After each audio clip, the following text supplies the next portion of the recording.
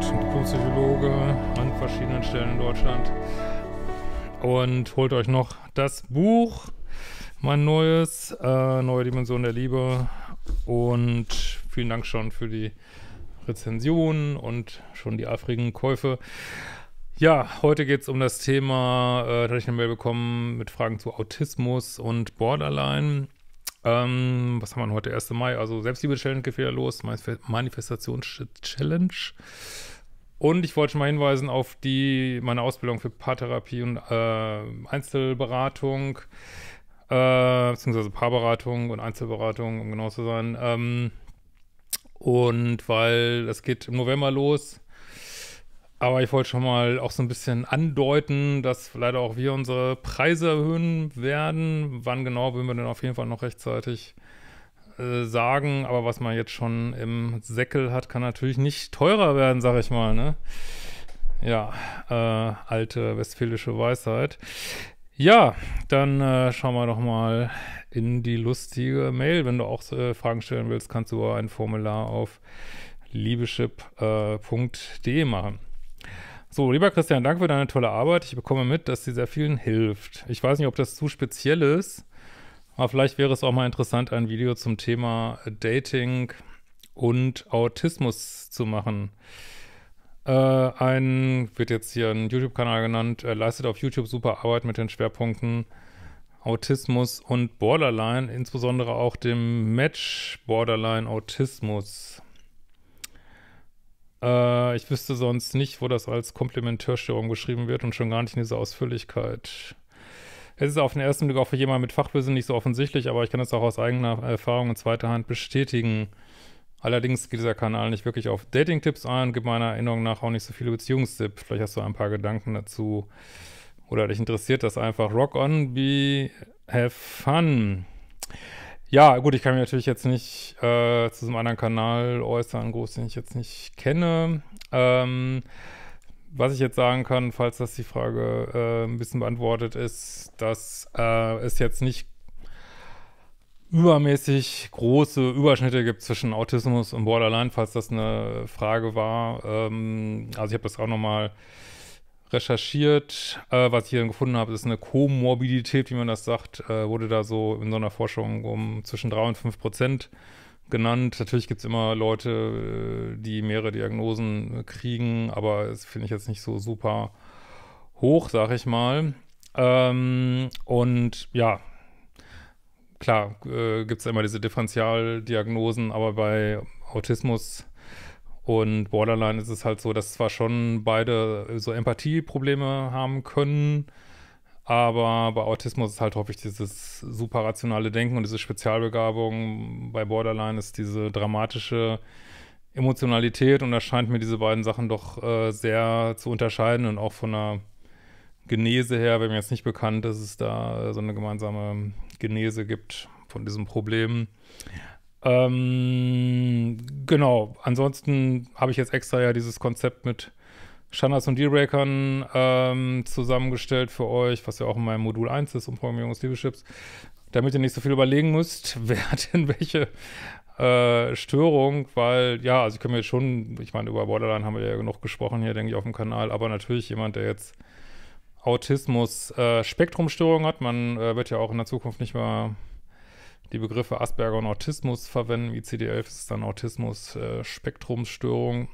Äh, ähm, ja, gut, dass jetzt jemand, das ist sicherlich nicht leicht in einer Beziehung, äh, wenn jemand ja, Schwierigkeiten hat, vielleicht bestimmte äh, Feinheiten von sozialer Interaktion und Sprache äh, wahrzunehmen, beziehungsweise vielleicht auch ganz andere Bedürfnisse hat. Also viele äh, Autisten und Autistinnen haben ja auch ein ganz anderes Bedürfnis nach, nach äh, Zeit für sich, alleine sein, äh, wollen vielleicht gar nicht so viel Nähe haben.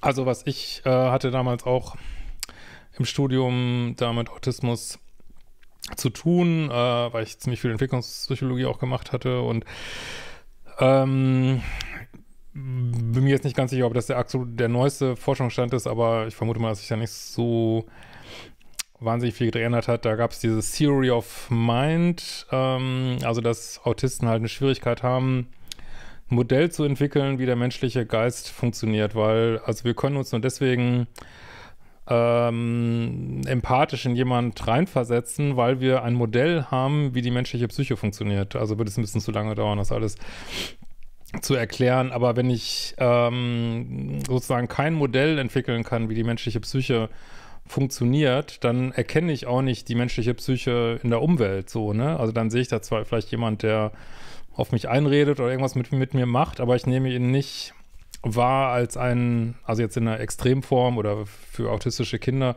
nehme ihn nicht in dieser Form wahr äh, als ein, ja, ein anderes menschliches Wesen, was vielleicht genauso denkt wie ich und wo man sich dann reinversetzen kann, sondern äh, das führt dann unter Umständen dazu eben, dass man ähm, ja Menschen nicht so emotional wahrnimmt, sondern eben mehr auf so einer praktischen, rationalen Weise und sicherlich ähm, wenn man dann älter wird und Kinder älter werden und, und erwachsen werden, äh, wird sich sicherlich da einiges äh, dran ändern, aber das wurde halt immer viel diskutiert und das macht natürlich Beziehungen nicht leichter. Wie, wie gesagt, wobei ich auch nicht glaube, dass ähm, jeder Autist oder jede Autistin, äh, ähm, wie sagt man heute, Neuro, weißt du noch, Neuronorm, nee, neurotypisch sagt man heute. Es gibt ja so schöne neue Begriffe, äh, jeder, der Autismus hat, eine neurotypische, normative äh, Beziehung führen will überhaupt. Ne? Von daher äh, spielt da sicherlich auch das Matching eine große Rolle. So. Also natürlich, wenn ich jetzt äh, jemand bin, der so ein pluspoliges Schema habe, ähm, dann ja, kann das natürlich auch zu Problemen führen, wobei ich mir vorstellen würde, dass die Probleme nicht so groß sind wie bei den Sachen, die wir ja sonst besprechen, äh, mit Lügen, Manipulieren. Also da scheint mir immer viel größeres Potenzial zu sein, für zum Beispiel Liebessucht zu entwickeln und so weiter. So also als Komplementärstörung, wie du das, glaube ich, meinst, dass einer jetzt Borderline hat, einer äh, Autismus, stelle ich mir ganz schrecklich vor, muss ich echt sagen. Ähm, aber dass das jetzt so bekannt ist als äh,